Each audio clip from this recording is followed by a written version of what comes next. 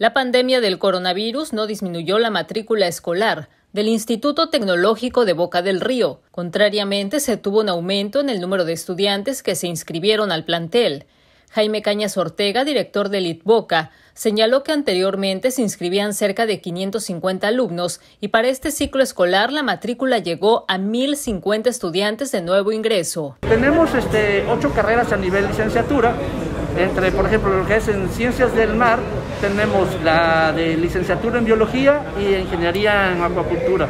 En ciencias de la tierra tenemos en ingeniería en industrias alimentarias, en eh, ingeniería civil.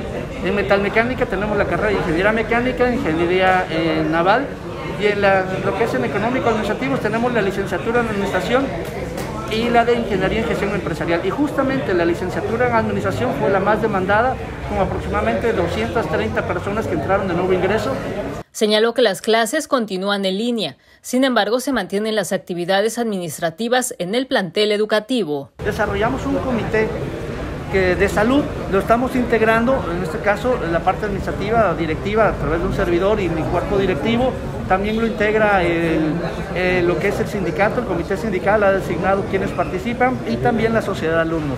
Al estar con tres este, entes, este, los tres principales que tenemos en eso, nosotros nos damos a la tarea de revisar periódicamente, en este caso dos, tres veces por semana, estamos haciendo recorridos de las instalaciones para irnos asegurando que contamos con las medidas de seguridad, de sanidad, para que garanticemos la salud de nuestros compañeros. Mencionó que debido a la crisis económica que impera en el país, se dieron facilidades de pago para que los alumnos puedan cubrir las cuotas de inscripción. Boga Reyes en la Cámara para Imagen del Golfo, Laura Morales.